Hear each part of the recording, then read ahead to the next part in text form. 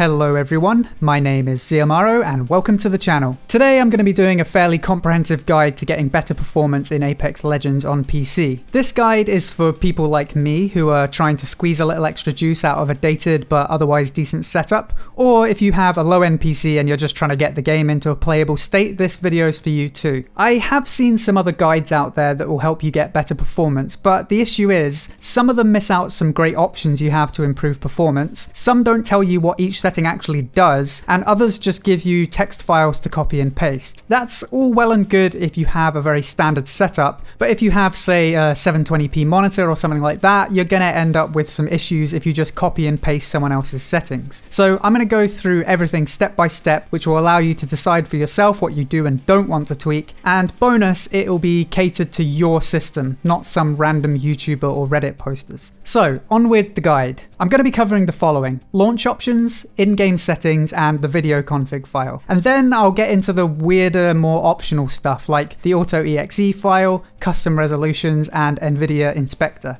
Let's start with launch options.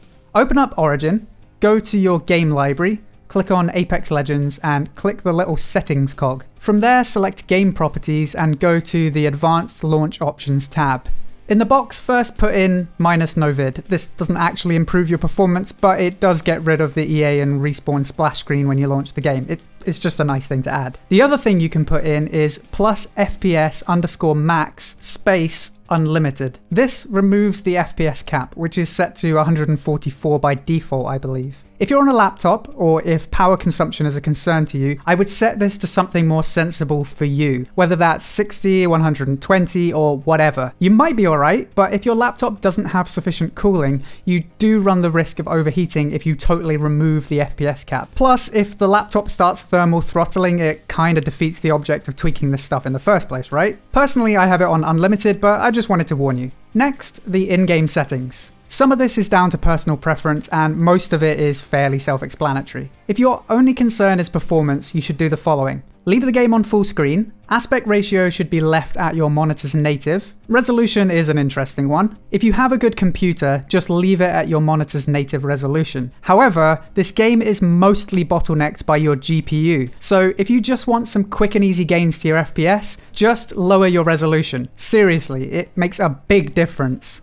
Field of view is partly preference, but lower numbers do improve performance. Issue is, lower FOV does mean you'll see less while playing. I go with 104 here, but just pick whatever suits you. VSync, switch that off. Adaptive resolution is actually really cool, and we'll come back to that later because you can actually do some interesting stuff with it in the config files. Anti-aliasing, turn that off. Disable texture streaming budget or set it to whatever memory your graphics card has. In my case, I have a GTX 970. It was originally advertised as 4GB, but famously turned out to be only 3.5, so I set it to 3. And from here, just turn everything to low or disabled, whatever is the lowest option. Personally, I really like borderless window, anti-aliasing, and texture filtering, so I enable all of those. There is a performance hit for each of them, particularly anti-aliasing, but for me, it's worth it. Next, we'll take a look at the super secret settings. This is where the biggest performance increase will come for most people. The video config file. For this, press Windows plus R and copy and paste the directory I've listed in the video description. That will take you to the folder with the video config file. Before you change anything here, make sure you have all of your in-game settings how you like them. But once you've done that, open up videoconfig.txt in WordPad or your favorite text editor. I'm using Notepad++. So let's go through your options here. Some people change the particle fallback settings to zero, but actually high effect detail settings in game lower these parameters, so honestly I would just leave them alone unless you really know what you're doing. Ragdoll self-collision effects, you guessed it, ragdolls. We don't need those, so change that to zero. Depth feather enable is the depth of field effect when you aim down sights. Change that to zero. LOD switch scale is the model detail setting in game. 1 would be high, 0.8 is medium, and 0.6 is low. This basically changes the distance at which the higher quality models are loaded. You can safely turn this down to 0.35 without adversely affecting gameplay, but I wouldn't push it any lower than that or you'll start to have some issues. Next, we have the big one, Towards the bottom, you'll see a setting called CSM Enabled. This controls all the shadows in the game. Set this to zero and you'll have no shadows. There are some obvious disadvantages to this. For example, if an enemy is flying above you, you won't see their shadow. However, you gain a huge FPS bump by turning shadows off, so just do it if you want better performance. And finally, let's take a look at DVS enabled. You know that adaptive resolution I skimmed over earlier? That's DVS. If you just want more frames, you can set this to 1, and then set the GPU min and max frame times below it to 1 and 1 on both. This forces the game to constantly run at 50% resolution.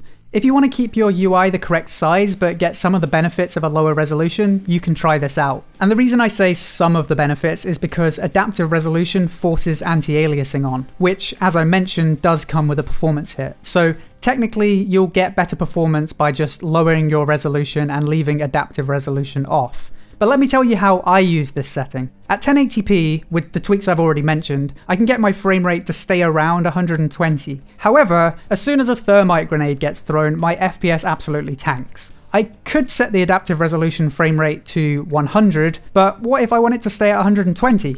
The in-game settings don't allow that. Well, by tweaking the GPU frame time min and max, you can set it to numbers that aren't available in-game. The max number controls the target frame rate, and the minimum, honestly, I'm not 100% sure, so let me know in the comments if you do understand this. But what I have noticed is the minimum is always set to around 3.15% lower than the maximum in the default settings. Unfortunately, it takes a bit of tweaking to find the exact numbers if, say, you want to set the target to 120, but I've worked out a few of the more common ones for you. If you want the target to be 120 FPS, set the GPU frame time min to 7949 and the max to 8200.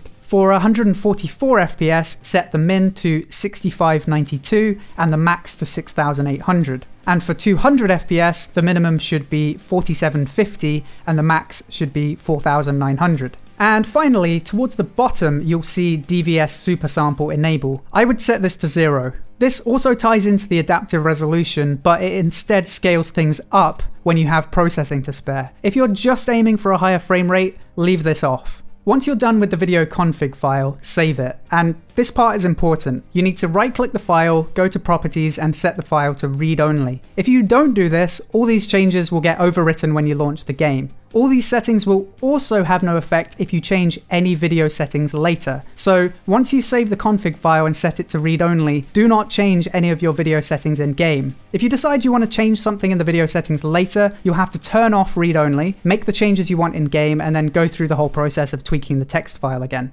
So those are the three, shall we say, mainstream things you can tweak. But there are a few other steps you can take. However, we're going into here be dragons territory here, and I personally don't use any of these tweaks I'm about to mention. First, AutoEXEC. Apex Legends runs on the Source engine, so it understands all the source commands and settings. Whether or not the game actually does anything with it is a different story though. So if you want a bit of an extra boost to your FPS, you can create an AutoEXEC file. To do that, you need to open up a new file in your text editor and write the following. mat underscore diffuse space 1. And the other one you want to add is mat underscore post process underscore enable space 0. These affect light diffusion and post processing respectively. Next, save that file in the following folder.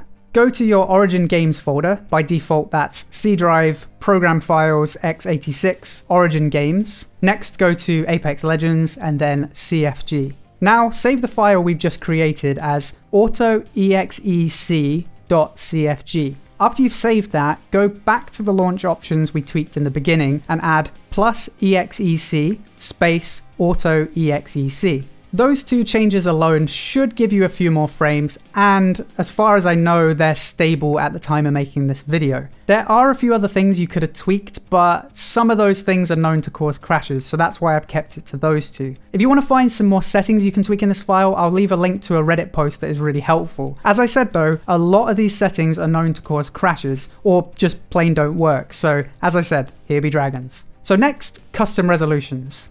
The way you do this varies depending on if you have an Nvidia or an AMD card, but you can create custom resolutions to use in Apex Legends. Unfortunately, I don't have an AMD card, so I won't be able to show you the AMD way of doing this. But for NVIDIA users, what you want to do is go to NVIDIA Control Panel, go to Change Resolution, and then click Customize click create custom resolution, and now you can create your custom resolution. Make sure the aspect ratio fits your monitor or it won't work. For example, on an HD 16 by 9 monitor, you could set it to 640 by 360. That's 360p in case you're wondering. Create that resolution, then go back to the video config file we edited before, and manually change the resolution to 640 by 360. And don't forget to set it to read only afterwards as well. You can actually create pretty much any custom resolution you like as long as it fits the aspect ratio like I said. Try to find a balance between playability and performance. The lower the resolution, the harder it will be to play, but it will perform better. Bear in mind, this tweak is only for if you're running on an absolute potato. For most PCs, 720p should be low enough to get the game into a playable state, and you don't need custom resolutions for that. But if you really want to get the game running on a potato, this could be the way to go. And finally, let's take a look at the kinda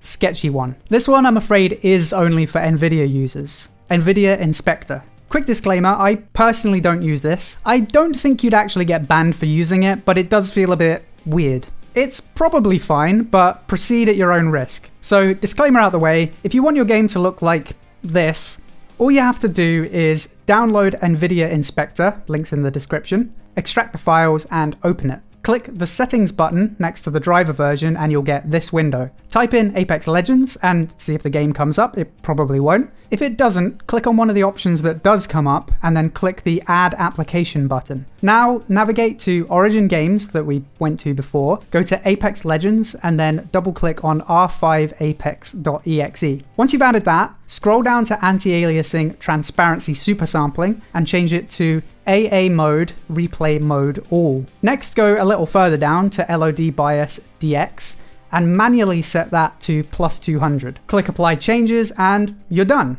It does give you an FPS boost and it does actually look kind of cool, but it feels kind of Mm, I'm not sure this is something you should really be doing, but in the interest of giving you all the options, there it is. I won't be using this personally, but if this does get the game playable for you, then I suppose go ahead. So, there you have it guys, the comprehensive guide to either getting your decent but dated computer up to more respectable frame rates, or to get your complete potato to even run the game. I hope you enjoyed this video. If you did, then please feel free to subscribe for more gaming guides, news and discussion. And don't forget to check out the links below to Patreon, Discord and Twitch. Until next time, thank you for watching, and I'll see you soon.